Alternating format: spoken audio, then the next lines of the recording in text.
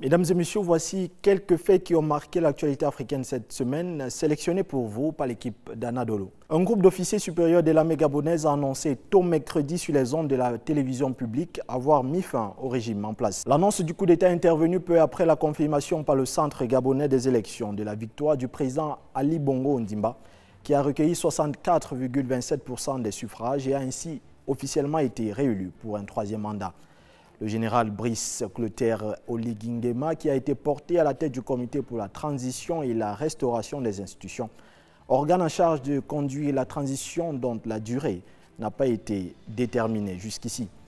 Placé en résidence surveillée, le président déchu Ali Bongo a appelé dans un message vidéo ses soutiens à faire du bruit. Plusieurs condamnations ont suivi la prise du pouvoir des militaires, notamment celle du secrétaire général des Nations Unies, Antonio Guterres, celle du président de la République centrafricaine et président en exercice de la Communauté économique des États de l'Afrique centrale, professeur Faustin Akanj Touadéra, de l'Union africaine et de la France, entre autres.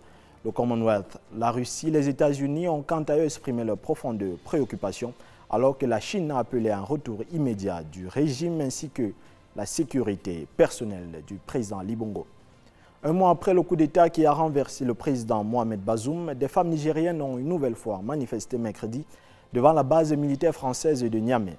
Elles appellent au départ des troupes françaises du territoire nigérien.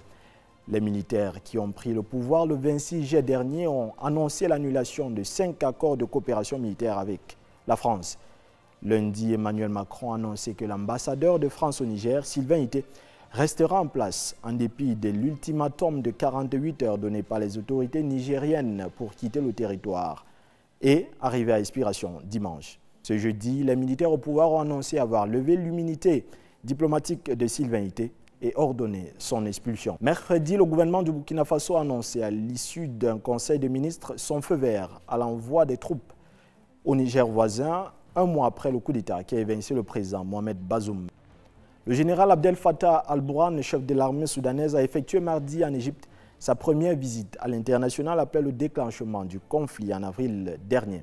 Au terme de la rencontre avec le président égyptien Abdel Fattah al-Sisi, al-Bourhan a affirmé que l'armée soudanaise œuvre à organiser des élections libres et équitables et à achever la transition démocratique jusqu'à ce que le peuple soudanais choisisse son dirigeant.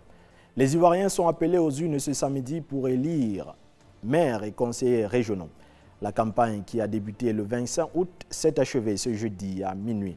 L'enjeu des élections auxquelles prendront part 30 419 candidats pour les municipales et 5 247 pour les régionales est de permettre la désignation de représentants qui tiendront les rênes des collectivités locales et auront la charge du développement local ou de proximité pour les cinq années à venir. Rendez-vous sur notre site www.aa.com.tr/fr pour le développement de toutes ces informations et de bien d'autres sujets qui marquent l'actualité africaine.